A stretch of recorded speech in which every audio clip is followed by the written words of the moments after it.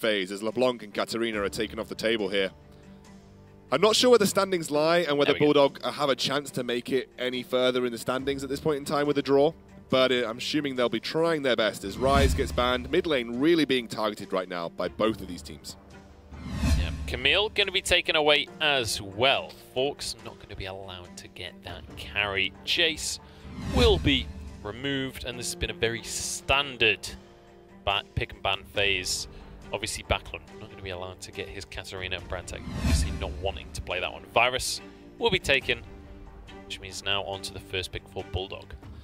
They've got a lot of options here. They could take the Jhin, as Jhin is not banned and Varus is banned. That's kind of a, a line of thinking that we've seen a lot of teams employ, given that Jhin kind of stands out as the best AD carry on this current patch when Varus is gone, and that was banned last game, so that could be a pickup for Bulldog here on this first rotation. Seems to be the case. We'll get that Jhin locked on in, which means Xenix now on second rotation. Do you think they'll lock in their AD carry as well, match that, and then go for something else? Or do you think they'll go for two more powerful picks? They could probably prioritize a jungler that they want here, as well as maybe getting their own support. AD carry or support. Going to be top lane, actually. Maokai, who has seen a lot of play recently over the last week. Yeah. And going to lock in the Graves as well. For Sankus as well. I mean, Sankus is yeah. a gifted Graves player. Certainly is. I mean, Sankus is just a, a, solid player all around. We saw his Ivern last game. Some serious work up against Jets Graves. So actually, Sankas kind of saying, you want, you want to see how to Graves, mate? This is this is going to be how you Graves. We'll see whether he will have a strong performance or whether Jet can take it to him this game. I wonder whether Jet, okay, he goes onto the Rengar. I was wondering whether Jet might default back to an Elise that we've seen a lot of people pick up, and Jet has always kind of been known for his Elise, but he's actually going to go for the Rengar, which wasn't on the table last time round. Let's see if the UK teams can make Rengar work better than EU teams. Now that Brexit's happened, you know, maybe. Not it's actually happened yet, but the, happened, the Brexit vote has happened, so theoretically, you know, maybe we can make Rengar work better. Yeah, that makes sense. The Brexit vote has happened, therefore UK players can play Rengar. Seems good. Maybe they can follow in Impaler's footsteps. I just dropped the... I was fiddling with my pen. I've unscrewed the end and now I dropped it. So that's really sad times for me. No writing down the dark um, phase for Munchables. Karma will be the support lock-in for Bulldog, which means now Xenix kind of have to lock in Ashe, surely. Because otherwise it's going to get banned. Yeah, I mean, you could also take the Sivir, remember? Sivir, you know, works very well in terms of shoving lanes back out. I think we're actually being given a new pen. Oh my god. Look at this. This is why we pay them the big bucks. Tahm Kench going to be the lock-in. It's something that Prosper has played like quite a lot over the course of the season, and he's actually a pretty good Tahm Kench player in the bot lane. And we have seen a lot of people pick this into Rengar specifically. You know, Rengar jumps on a target, Tahm Kench, you know, devours them, and suddenly Rengar kind of lost like a kitty in the middle of nowhere, has nothing else to attack, and has to kind of go for the Tahm Kench, which kind of forces you in that bot lane if you're looking to make ganks to try and kill the Tahm Kench first, which means you have to get through basically two health bars to make that happen. Now, Fiora taken away. Shikari does not want to go up against that split pusher while he's playing Maokai. Wants to force the tank versus tank matchup if possible. It's going to be Miss Fortune banned away from the side of Bulldog, making sure that Prosper doesn't get his big... Oh, well, no, it's taking it away from Inax, in fact, because he's already got top catch. That's why a questionable ban for me, to be honest. I mean, uh, Miss Fortune has been a powerful AD carry. Yeah, but I don't know. I think there are better AD carries to ban. I would have banned Sivir and Ashe and then really forced them onto something that's a little bit out there like the Ezreal, which we've sometimes seen picked up. Gragas is now going to be the next ban here, so not going to allow Forks to play Gragas in the top lane, which has got a decent laning phase versus the Maokai. But then so does the Nautilus, so you could then default onto Nautilus if you absolutely wanted, which has got a good early game versus the Maokai. Well, the final ban is out. It's going to be a Syndra. Gragas taken away from Forks. And now it's time to see what the side of Xenix are actually going to go for here. What are they going to lock in pick with, up a priority? With the Maokai, it, a lot of people would go for the Sivir because it has a nice synergistic, you know, um, hard engage. Hard yeah. engage. You know, you give the Maokai the speed boost to get that twisted advance off. Inax could also go for the Ashe. It kind of achieves the same thing, but obviously you have to hit the arrow to make that happen. Um, so it's more of a single target focus as opposed to a team-wide engage.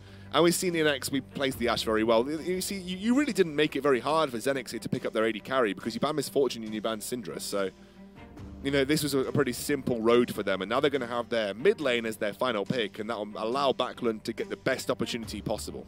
Yeah, going to a counter pick as well. Renekton taking away Forks, going up to that top lane with that one. Orianna will be the lock-in for Bradtech, so playing this one safe. What do we what do we reckon for the counter pick in the mid lane? Cassiopeia? I mean, Cassiopeia works fine. I mean, you could see a, a multitude of things for Backlund here. Likely not a Vayne. Probably not. Um, obviously, Forks taking... Ashe teleport mid.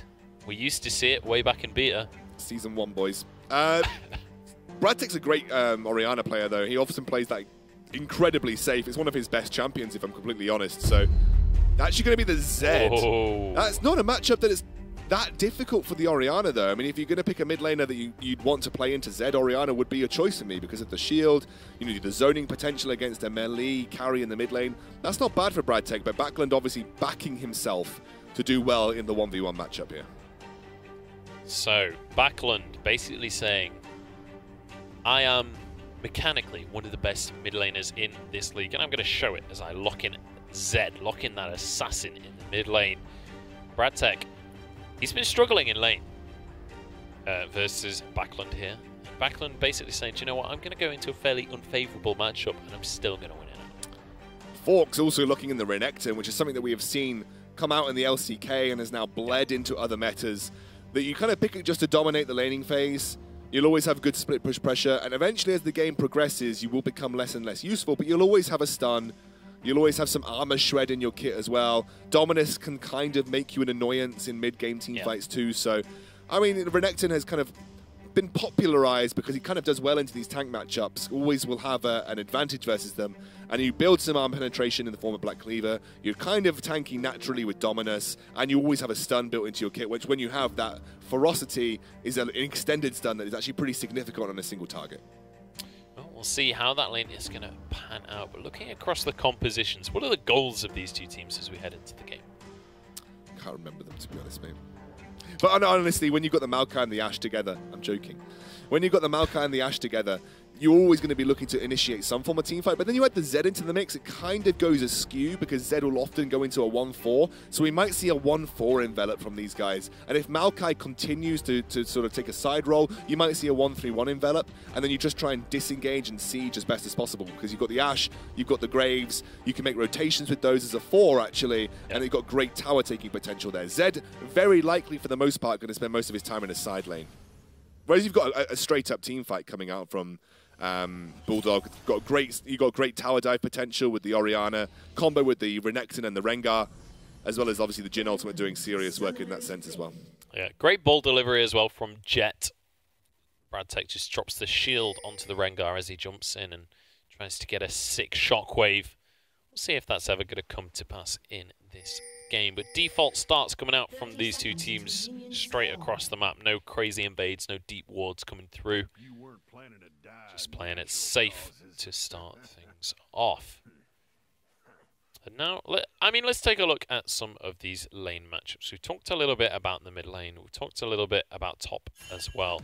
But down in this bottom side, got Inax having a bit of a disco on the Ashe alongside a Tahm Kench. And then we've got Jhin and Karma. How do you see that lane panning out? Actually, you'd give the advantage in the push to the Bulldog lineup because Synergy is going to be able to push quicker than Prosper and Inax. Prosper doesn't really have that much wave push built into his kit, so you're relying particularly on the Ashe, you know, specifically, but that only really comes down to the volley, which has got a long cooldown in the early levels. So they're going to shove this Ashe and Tahm Kenshin, you would imagine, for Fax and Synergy which is going to relieve pressure on Jet, especially in the bot lane. You know, you're not going to be able to see any bot lane rotations take place. Depends on the, how easily Bradtech's going to be able to shove Backlund in. You, you kind of want, when you have a Rengar, lanes that win naturally and can shove in naturally. So Forks and this bot lane is going to be fantastic for the Rengar. Just have to see how Bradtech matches up against Backlund. That'll be the one worrying thing that you could potentially uh, look out for in the Bulldog lineup. It's going to be an interesting one for sure, and I think all eyes are going to be on Sankas and Jet here. Both of these guys very capable junglers, but Sankas really kind of uh, set the tone in the first game when he got first blood onto Jet and then immediately started spamming those emotes. I think Jet is going to be wanting a little bit of revenge in this one. Yeah, absolutely. But then again, not much revenge to be had pre-6. As we know, Rengar struggles to impact lanes pre-6. You know, realistically, the best course of action for a Rengar is to just power farm as best you can, allow your lanes to shove so you can kind of relieve pressure on any potential counter counter pushing. Actually, you're seeing Fax getting pushed in here. I was expecting Synergy to maybe be more aggressive with his um, Qs, try and use the Mantra Qs to clear out some caster minions on the backline, but it actually looks like the advantage is going over to Inax and Prosper. I kind of just think they're zoning away the bot lane from Bulldog and not allowing them to get, the, to get this push on, and actually kind of going against what I expected. Inax and Prosper managing to get this shove on the go. Synergy, in fact, struggling to really keep up with that one. Jet coming up very early into the top lane. Shikari already super low and will go down. First blood wow. goes the way of Jet, starting things off right. That is not what I expected from a Rengar. There are only limited areas that a Rengar can impact in, and going through a side brush in the top lane or a bot lane is kind of one of the main areas that you can impact pre-6. And they've already punished Shikari early on here. That's a great start for Jet and Bulldog. Yeah, and I mean, you said it yourself. You don't expect a Rengar to impact the game early on, and that's exactly why it works. That's exactly why he's able to get on into that top lane. Get themselves the first kill of the game. Fantastic start for Bulldog here. We'll see whether Jet can snowball that into more. He was the one that managed to grab that first blood for himself. Yeah, and that'll obviously give an advantage in terms of experience get towards six more readily as well. Looks like some deep wards have come out from Sankus though. Wants to keep tabs on Rengar when he does enter that red side of the jungle. But Rengar right now seems pretty keen to continue to snowball Forks' top lane. Heading up, going to avoid those wards once more, going to walk through those side lane brushes. Got the double buff. Shikari doesn't have flash available. When these two couple of melee minions go down, he will have to push up just a little bit. The shove is going towards Forks right now. Shikari is yep. going to have to be careful. Has to play the long con for this one, but it might just pay off in the end. Shikari going close on this one, and there is Jet jumps on in the root down onto Shikari. There are no summoners, and it's a second kill for Bulldog. Forks grabbing this one. Yeah, Forks having a great performance on this Renekton. Did a really good job of allowing that lane to slow push towards him, and Shikari was absolutely baited in here. Backlund's got a 10 CS advantage over Brag, Brag taking this mid lane. Really trying to assert his dominance as Which, the better mid laner here. Yeah, and uh, in a Zed versus Orianna matchup, you wouldn't expect a major CS lead this early. No, definitely not. If anything, you know, as a Zed, you're probably happy to go even in this particular matchup. But again, this is worrying trends for, for, for the top lane for Shikari, because if they can allow Forks to get such an advantage, he will continue to push that advantage, and eventually as a Renekton, you get to a point where you can just slice and dice, jump in, get a free empowered Q, and almost completely chunk your opposition member in lane. And that's kind of what I think Jet was been aiming to do. He's almost level 6, by the way, so once he hits level 6, you imagine he might look to either go top again or go bot. Definitely think like putting pressure on Shikari in this top lane is a good idea, though, because you can kind of generate a huge advantage for yourself as Bulldog by getting a huge split push presence in the early game due to that Renekton's advantage over the Maokai. Yeah, and I mean, we said that this is all eyes on the junglers. This is all eyes on Jet and Sankas, and so far Jet has been the superstar. Jet is the one that's really making an impact, and Sankas yet to have any influence on the map. And Shikari, who was also a huge influence on that uh, Camille last game, he's really not off to a great start at all on the Maokai. So far, 10 CS down. Yeah, I mean, but this is kind of what you expect, especially if the Renekton receives early pressure, as Jet is now level 6, by the way, so depending on where he wants to impact, he might actually end up going top lane again. Looks like he's poised for that. Looks like he's poised for either mid lane or top lane, waiting for either one of them. Yep, we'll have the Thrill of the Hunt available Bradtech very aware that Backlund now has his death mark available. Just consistently throwing out those shuriken, making sure that he's consistently getting that damage down. Jet gonna come on in, shockwave onto Backlund. He's very low, but Deathmark goes straight across onto Bradtech and will be able to get away. Jet flashes forward though and picks up the kill. Jet, wow, pre-6, post-6, already having huge influence across the map, and Sanka's kind of left for dead at this point in time. Sanka's maybe trying to go in here, but unfortunately, end of the line, probably not going to be close enough. Maybe was thinking about a flash QR combo, yeah. but unfortunately not able to do so. He's been very subdued this game. Got to give credit to Jet. We, we said that you know he's been improving as a jungler, he's been improving as a player. Has definitely had a huge impact for Bulldog early on here. Yeah, we said that one of the big things for Jet in this series was that he had to be proactive. He had to be the one making things happen for his team. And so far, he has now got two lanes off to a good start, however. Backlund still with a significant CS lead in that mid lane, but Jet will be able to steal away a red buff, and it's traded back by Sankas now. Heading into the bottom lane, Synergy might be the target, although Fax will get gobbled up here, and might just be about to go down. Look at the damage coming on out. Inax gets the kill and gets the stun onto Synergy. He's going for the dive, and it's a double kill. Hit six during that engage. Didn't think like Xenix were on the same page until the Ashe Arrow came out. But I've got to say, Prosper, really good job to put pressure onto Fax early on, get that Devour, and Sankos is in the right place at the right time, facilitated by a lot of the early vision control he put down into the red side jungle of Jet, but they're going to put pressure onto Shikari once more here. Certainly are. He has to flash away Forks, will survive the tower, but Shikari keeps himself alive. In the meantime, Xenix, they're looking for the first tower of the game, and they should be able to grab that one, which, despite all of the work that Jet had put into this early game to snowballing ahead, Xenix still have a 1,000 gold lead at 9 minutes. May have been able to pressure that top side of the map really well by Jet, but the bot side of the map was just losing consistently from mid to bot pressure was there for Xenix. They'd got that pressure mounting up by pushing in early on the bot lane. Ashe somehow solo pushing against the Karma. Synergy definitely didn't feel aggressive enough with his wave clear and wave shove potential. And now, despite all Jet's efforts, Bulldogs are on the back, or on the back uh, foot this time round. And Backlund still, despite the advantage that Jet tried to procure Bradtech, has that advantage in the mid lane. Didn't even bother with the uh, Hex Drinker, by the way, doesn't feel threatened enough by the Orianna, has gone straight for Serrated Dirk, looking towards a Ghostblade early on. Yeah, he just wants to go straight for that lethality and just be as aggressive as possible, and that is Backlund in a nutshell, really. He wants to go for those 1v1s. He wants to dominate his opponents. Relieving pressure, by the way. Early rotation here relieves pressure onto Shikari in that 1v1 matchup versus the Renekton's, giving him a few minutes of respite to try and farm as best possible.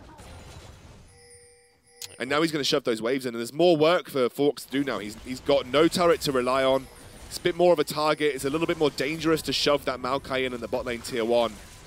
And this is a good good start for the Zedix now. They kind of recovered after the early game fiasco they had, especially on that top side of the map. And the good work done by uh, their bot side has allowed them to recuperate and find a foot to stand on in this early game. It's been all about the mid lane so far, though, in terms of the CS numbers, because Backlund is 30 CS up. Even though he did get ganked early, he's still 700, 800 gold ahead of Bradtech, who has been really struggling, not just in this game, but in this entire series. Could have a fight coming up. Sanka's hovering around this top side. He is moving down. He actually just blast cones himself back over. Yeah. Sends, sends a message, you know. Just wants to deny any kind of engage potential from any latecomers to a fight. But it also denies um, anybody moving in from that blue side jungle. Actually, Shikari now, target again.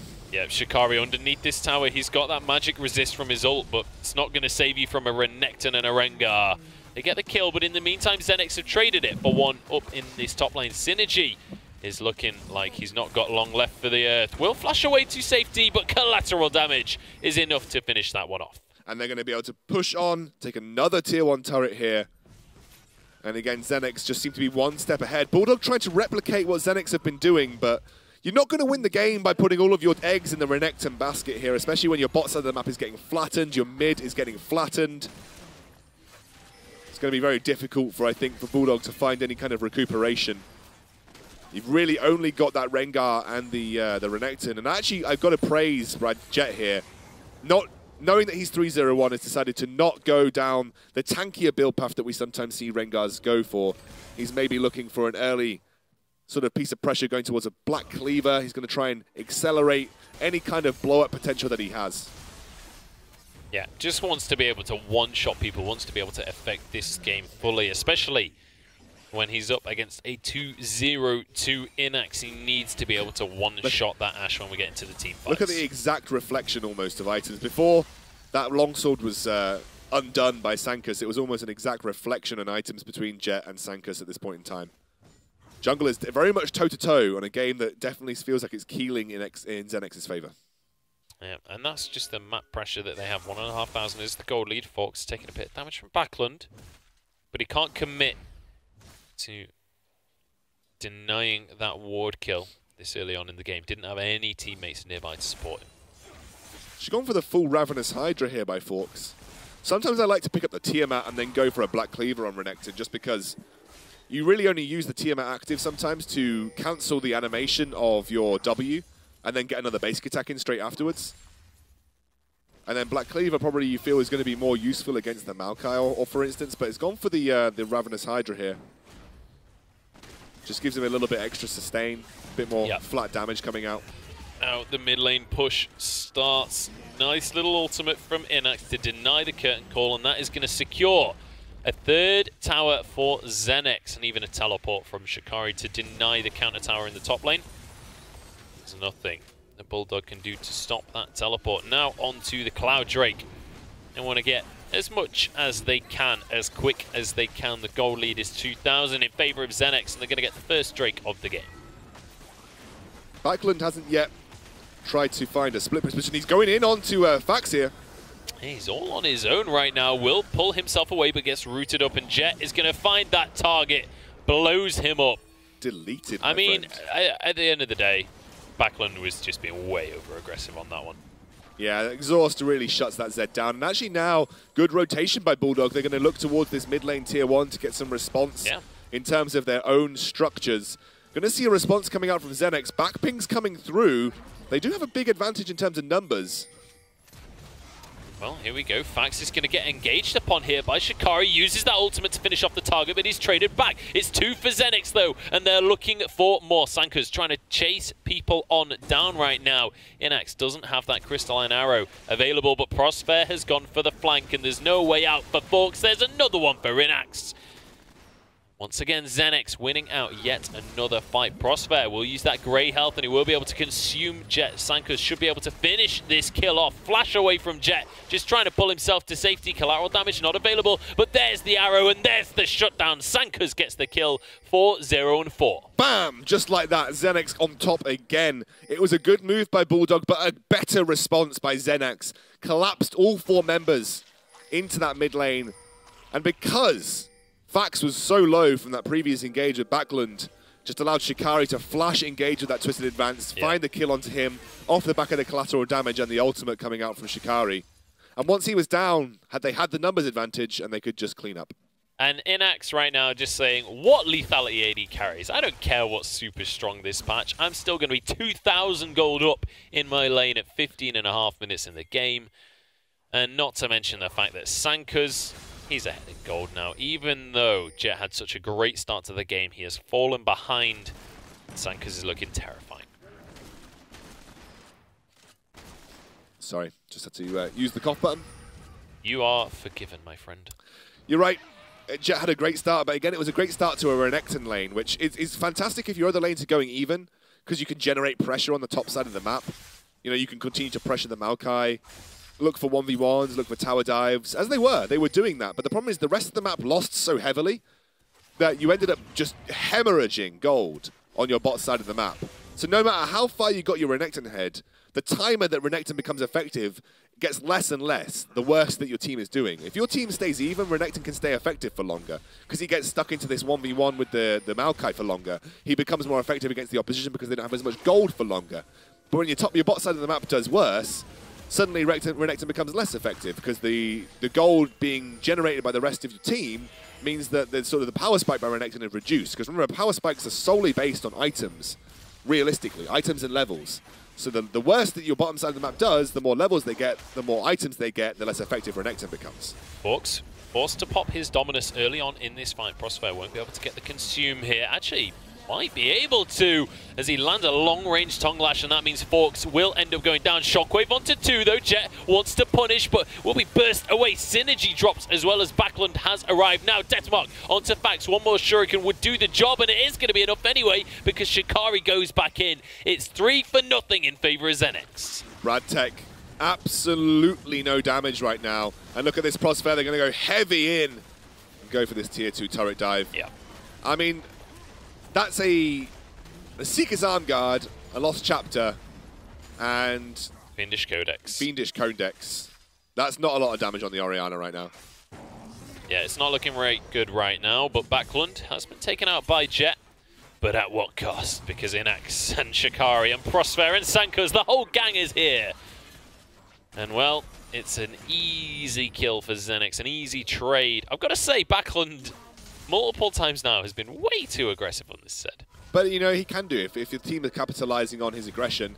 Every time something down the line has come from Backlund's aggression. First time round, the Jet, they got they got uh, Fax very low, and that meant that the Maokai could kill him and they got the clean-up team fight. That time round, they just pick up the Rengar. I mean, it's almost there's almost something that comes off the back of it. There was one time where his team was doing Dragon, and they were guaranteed to get the Dragon no matter what, and then he went 4v1 in the enemy blue side. Yeah, but that got Fax low, remember? That got Fax pretty low. Fax then went to siege the mid lane tower, and then that allowed Shikari to jump on him and kill him off the back of the collateral damage and the ultimate from the Maokai. Yeah. Oh, okay. I remember. I don't remember the full uh, course of actions then, apparently. Forks managing to sidestep that arrow as it sails off and will hit the shopkeeper. Synergy flashing himself away to safety and will inspire himself with that shield. Classic setup here for Xenix now. With the Maokai, the Graves, the Ashe, they've got very, very good tower pressure. They have real tower dive potential as well. And then, then you see the 1-4 that we expected from Xenix. The 1-4 has started to open up here. Looks like it's going to be an attempt at a 4 yeah. versus 5. Shockwave only onto Shikari, though. He flashes away. He will be burst down, though. Good start to the fight from Bulldog, and now they're onto Prosper. Great health will keep him alive for a little bit here.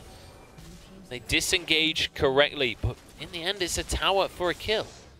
Yeah, it wasn't a super impactful Shockwave. I like the idea from uh, Bulldog. That's exactly what you need to do against a split push. You try and force the engage, get the 4v5 advantage, and then try and then respond, hoping that you haven't lost much on the other side of the map. But it's a kill for a tower. That's worth it for Xenix every day of the week.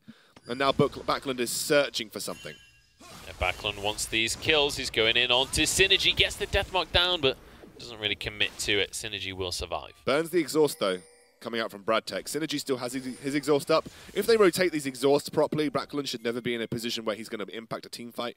That's probably why you'll see him sit, sit in a split push role for the majority of the game. That will be another Cloud Drake going the way of Xenix. That's two Cloud Drakes now for them.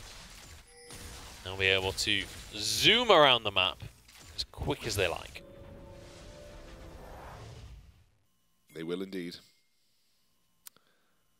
I was just checking if anyone's talking about it on Twitter. Not yet, but soon TM. Don't forget you can get involved on Twitter using the hashtag, hashtag ESL. ESL Prem. That's how you guys at home but this is classic, join the conversation. This is classic Xenix, right? It doesn't feel like they're making massive moves in terms of team fights, but they're just making great macro play. Still going to try and force the fight here, though, you think? Trying to force the issue. Jet will be able to get away with the help of Synergy. Then look at this map play. They get themselves the blue buff. That's definitely what they were searching for, Kappa. Uh, Prosper taking a couple of tower shots there, but the grey health will heal him up once again. Xenix, they don't find what they're looking for, but they will back away, and they still have very strong control over this Baron area. Yeah, and again, Baron's probably going to be on the cards for Xenix pretty soon. Ping's going down by Bulldog to make sure that they try and garner some sort of vision control of the area. Like the idea from Xenix, though, trying to force the issue. Again, the scoreline is almost identical, 8 to 12, but it is another 7k gold advantage over to Xenix.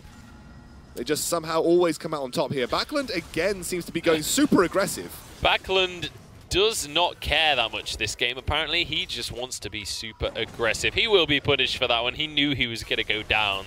But in the meantime, his team is just taking the Baron. Sankas and Inash Inash, Inax on the Ashe, and doing so much damage, and we'll be able to secure that objective. Backlund, I mean, he even got the kill for it. It's not like he didn't get anything out of it himself. Yeah, and Shikari playing the fool in the mid lane, trying to keep Bulldog away from it. And that's kind of what Xenix have done off the back of Backlund's pressure. Backlund knew he was going to die, but the more time that he spent making Bulldog chase him, the more time that Xenix had to take that Baron. And again, another massive advantage opens up for the Xenix squad. Probably going to see um, Backlund move into a side lane again, maybe see that 1-4-1 open up, split pressure in the bot and top side, and allow uh, Backlund to do his thing, try and take that tier 2 easily. Especially with the Baron now, going to be a lot easier. Yeah. The Baron might just be the final nail in the coffin here because the gold lead is 8,000 in favor of Xenix. They've got the Cloud Drakes if they need to zoom around the map. They've got the Baron if they want to siege some towers, and I would expect that they do teleport out. Oh! Fox just about gets away with it. But in the meantime, Backlund's found himself a solo kill. Now Jet trying to punish this one, does try and get back into the situation. Redemption, though, keeping Backlund alive. He's just waiting for cooldowns, and Sankas has joined the fray. Now Backlund jumps over to finish off the kill. Collateral damage on top of everything. But these split skirmishes are not going to favour Bulldog. And now Forks on the front line. He's just not tanky enough. Shockwave, but there's just no damage from Bradtech. Now the siege begins. Yeah, only the Morellonomicon finished on Bradtech right now. It's not like he's had a bad game. Just hasn't been able to generate those item spikes quick enough. Renekton really not in a great place either, only just having finished his Black Cleaver. The BDG doing their best to try and stop things from going too wrong here. But Bradtech flashing away from that one. Synergy poking away at the back line, but Sankas doesn't go down, and it means that Inax has arrived and will finish off that tower in the meantime. Backlund pushing away in that bottom lane. The siege begins up on the top side of the map. Prosper with two perfect games, by the way, so far. Has yet to die. Didn't die on his Lulu in the last game either. Damn. Not bad. Jet going in on this one. He wants to make something happen, but takes too much damage. Inax rooted, but these Xenix health bars, while they're low, nobody seems to be able to finish the kills. It's a double for Shikari. Bradtech just trying to walk away with his life. Inax so low, but will get consumed by Prosper. Backlund elsewhere on the map, still just putting on pressure, still just being a pain, a thorn in the side for BDG. Yeah, he's been a real issue for them, just generating pressure on the other side of the map, even if he goes down and dies for it. Oh my word, Inax takes a lot of damage there. Yeah, but Bradtech takes more. It's going to be Fax as well. Finished off by Backlund. And that is going to be a second inhibitor. This is surely going to be the game right now. Baron still going to be lasting a couple more minutes here. Or a few more seconds at least. But with the supers coming down the mid lane, this should be enough. Xenix are looking to close this one out in a convincing series. Forks, last hurrah as he goes in, but him and Jet will both drop alike. And it will be four kills going the way of Xenix, and it will be a Nexus going the way of Xenix. A 2-0 victory as they head to the finals in commanding fashion. Don't think anyone expected anything other than that, and it was classic Xenix style. Even until the point where they just started generating huge advantages across the map. Just check out series of their plays. They still somehow get their first structure of the game. A lot of this gen pressure generated by Backlund again, making Bulldog respond to his plays and allowing Xenix to capitalize with things across the map. Prosper again had a great game. Sankas finally found his feet after Jet really put the pressure on early on. But even despite that pressure, it was all onto the Renekton and the bot side of the map came through for Xenix as we have been so used to across the Premiership. Yeah, and there we have it.